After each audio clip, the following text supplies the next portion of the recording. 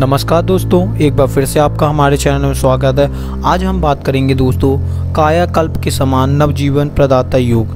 दोस्तों, जैसा कि हम जानते हैं कि अगर हम रोज़ भरी ज़िंदगी में सुबह उठना, खान पीन में अगर हम सही समय पर खाएँ, पिएँ और अच्छा खाना खाएँ घर का, ना ही बाहर का खाएँ तो इससे हमारा जीवन बहुत ही सुखमय रहेगा। हम रोग वगैरह से बचे रहेंगे, ना ही हम कोई ड्रिंक करें ना ही कोई हम पार्टी करें।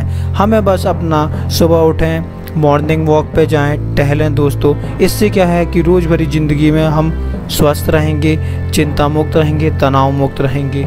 यही सब जानकारी है दोस्तों। आइए जानेंगे कि कायाकल्प के समान हम नवजीवन किस प्रकार से प्रदान कर सकते हैं। आइए जानते हैं। हरे आंवलों को कुचलकर या कद्दूकस कर कपड़े से छानकर आंवलों का रस निकाल लें दोस्तों। तत्पश्चात 15 ग्राम हरे आंवलों के रस में 15 ग्राम शहद मिला लें। प्रातः आप सुबह उठ के व्यायाम के बाद भी आप इसको पी सकते हैं या एक्सरसाइज करने के बाद इसका जूस पी सकते हैं। इसके पश्चात दो घंटे तक कुछ ना लें दोस्तों।